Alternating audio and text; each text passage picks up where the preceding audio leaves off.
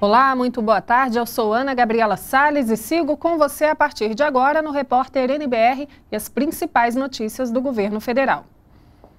Na semana em que se comemora o Dia do Índio, o Ministério da Justiça e a FUNAI promovem uma série de atividades para mostrar a realidade desses povos da floresta. A ideia é acabar com preconceitos.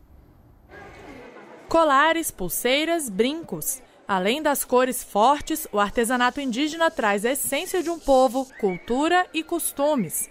A Iri conta que aprendeu a transformar a natureza em arte ainda pequena. Já é um dom assim de pai para filha, né? Então, o meu sustento da minha família é todo de artesanato que vem da mãe natureza, né? Então, são sementes, palhas, coco enfim, tudo que a natureza nos dá, né? Ela é da etnia Gavião, comunidade indígena do sudeste do Pará, e viaja o Brasil divulgando o trabalho que faz.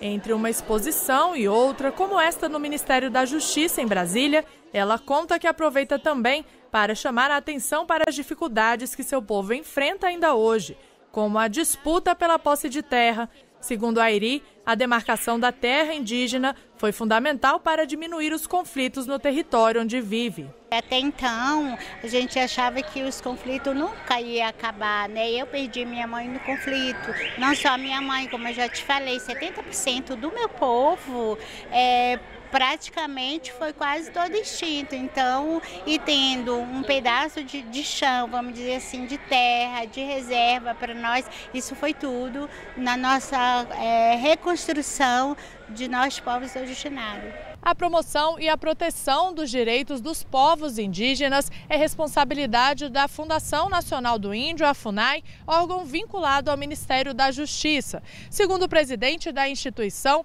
existem hoje 435 terras indígenas regularizadas, que representam cerca de 13% do território nacional.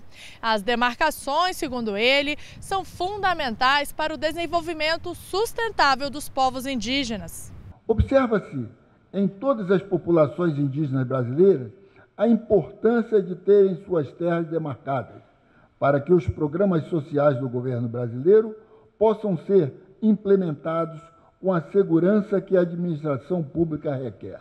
No Brasil, há quase um milhão de índios que se dividem entre 305 etnias e falam ao menos 274 línguas. Os povos indígenas estão presentes nas cinco regiões do país. A maior parte da população, mais de 37%, vive na região norte. O Nordeste abriga pouco mais de 25%, o Centro-Oeste, 16%, o Sudeste, 12% e a região Sul, 9,2%. Para o ministro da Justiça, o desafio é aliar o avanço tecnológico ao respeito às tradições. Há uma preocupação central com o respeito à ancestralidade, com a história, e a partir daí construir o futuro. Então, o desafio é, juntos, os grupos indígenas e o governo, saberem o que aproveitar da modernidade. O tratamento da saúde, certamente. Isso não significa afastar as suas crenças históricas na pagelança, em outras perspectivas de tratamento da saúde, porque elas têm um papel importante na coesão social dos grupos indígenas. Tradição também importante para o jovem Cauairã da etnia Cariri Chocó de Alagoas. Ele conta que deixou a aldeia para cursar enfermagem na Universidade de Brasília, mas pretende voltar e ajudar a comunidade. Eu vim em busca de um sonho que eu tive desde pequeno e graças a Deus eu hoje estou fazendo uma faculdade e pretendo contribuir na minha aldeia com isso. Minha cultura é o primeiro lugar de todos. Eu tenho que buscar mais e cada vez mais. Pelo Twitter, o presidente Michel Temer lamentou hoje a morte da cantora e sambista Ivone Lara. Ela faleceu na noite de ontem. Para o presidente, o samba perde sua maior expressão. Ele lembrou que Dona Ivone Lara rompeu barreiras fortes até hoje, tanto na sua Império Serrano quanto na humanização do tratamento psiquiátrico com a doutora Nise da Silveira. Temer escreveu que lhe conforta tê-la homenageado ainda em vida.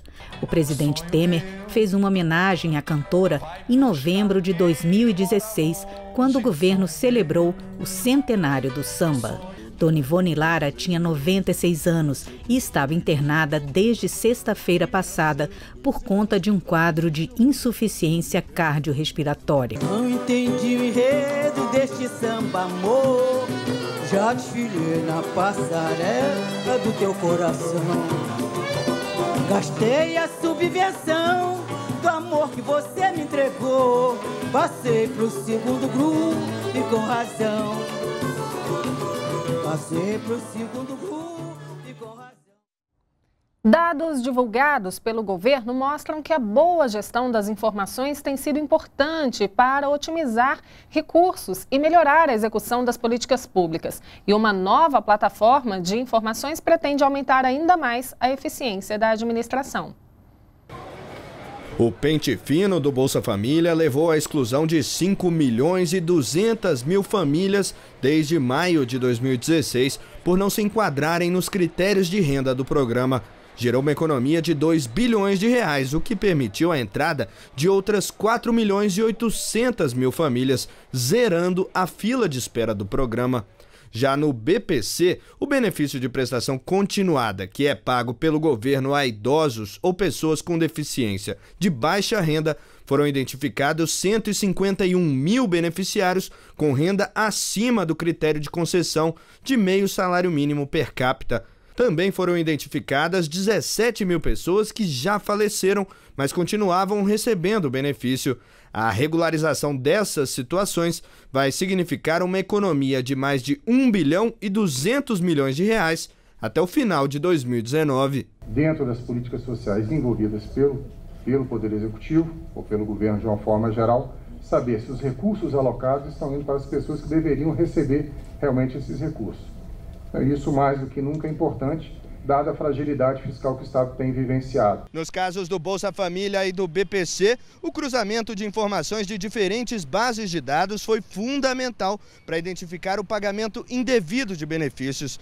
Agora, o lançamento de uma nova plataforma que reúne diversos bancos de dados em um só lugar vai permitir que outros órgãos também aumentem a eficiência nos serviços é a plataforma de análise de dados do governo federal, chamada de GovData. Para o governo, concentrar as informações de diversos órgãos num só lugar facilita a tomada de decisões, o desenvolvimento, a gestão e o controle de políticas públicas. A partir da, do momento que isso for interoperável e que estiver tudo concentrado num único lugar, uh, esse trabalho deverá ser muito mais simples e a, e a, e a revisão muito mais ágil. O governo federal também anunciou a economia de 7 bilhões e 600 milhões de reais de agosto de 2016 até março deste ano, com a revisão de benefícios de auxílio-doença.